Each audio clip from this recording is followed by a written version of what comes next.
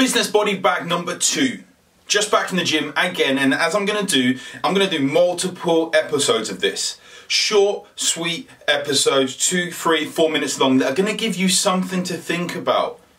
Something to think about on your journey to making sure your body is built for your life and to allow your business to thrive because we always talk about having a sustainable business, having a scalable business, even. We talk about having a scalable business. And the problem with that is that without a healthy body, you haven't even got a sustainable business, let alone scalable.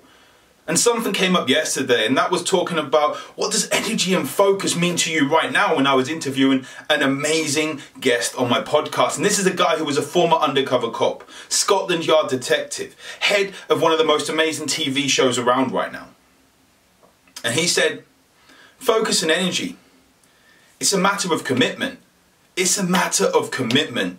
And that is true with your health goals. Because unless you are committed to getting a result, unless you know why you want to get that result and you have a certain level of commitment, you are never, you are never going to get that result. If you're not committed to actually doing the work, you're not going to get that result. If you're not committed to building your relationships to a level you're going to be at, then you're not going to get that relationship to where you want it to be at. If you're not committed to doing the action steps in your business, to get that business to where you want to be at, you are never going to get your business to that level. And that goes with your body too. You want to lose weight? Cool. Why? You want to feel better? Cool. Why? Find out why. Find out your commitment levels.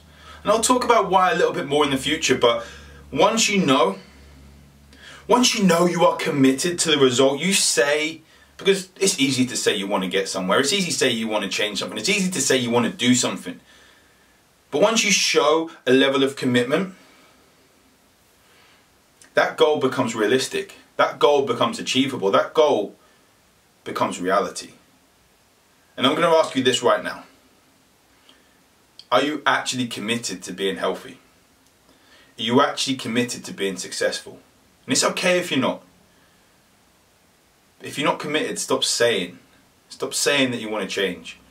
Because you can lie to the world. You can lie to your friends. You can lie to your wife. You can lie to your family. But you can never lie to yourself. Commitment is up here and in here. And it is your decision.